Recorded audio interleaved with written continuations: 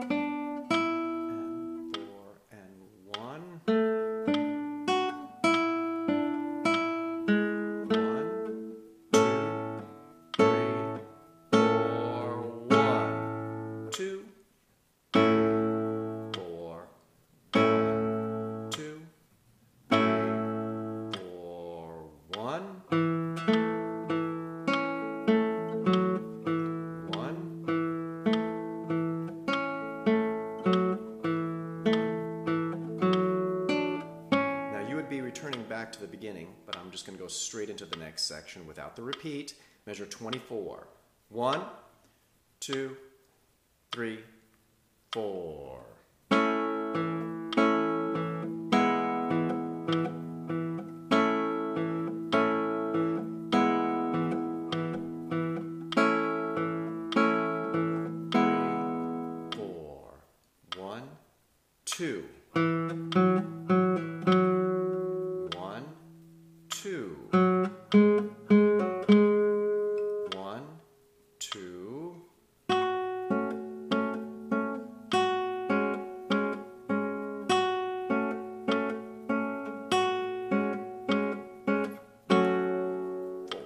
Stay there.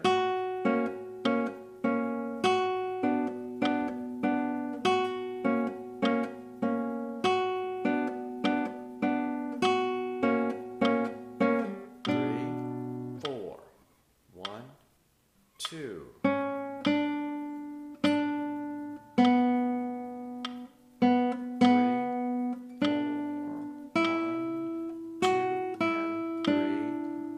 Three measures of rest. One, two, three, four.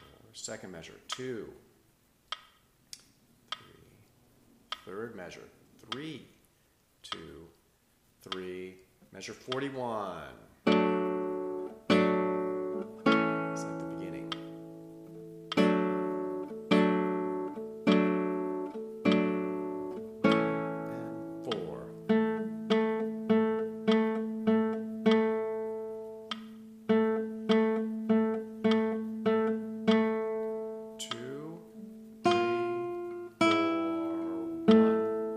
Two, three, four, one, and two, and three, and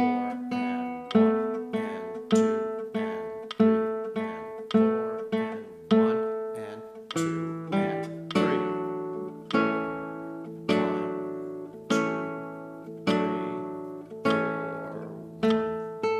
two, and. That's first inning and second inning. So hopefully that, that, that is helpful.